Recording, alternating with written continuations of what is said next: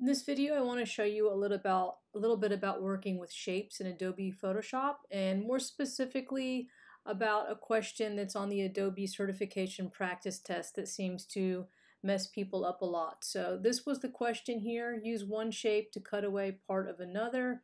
Create a 500 by 500 pixel square shape that cuts away from the thin yellow rectangle.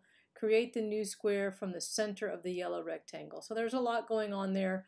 Let's take it one step at a time. So first of all, go to your layers palette and make sure that you're on the layer that has that rectangle. All right, you'll know it's a shape layer by this little thing in the corner here.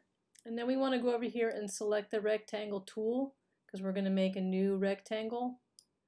All right, and then we're going to click in the center of this yellow thin rectangle like it asked.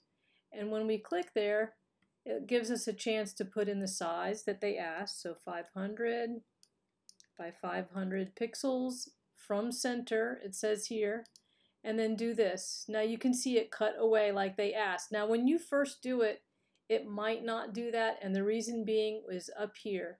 You need to make sure that you click on this path operations icon. If you hold your mouse over these, it tells you what it is. That's path operations it must say subtract front shape. If you do not put it on that, then it won't um, do what they asked for as far as cutting out the other shape. So that's how you use shapes and cutting away, using other shapes to cut away shapes that already exist.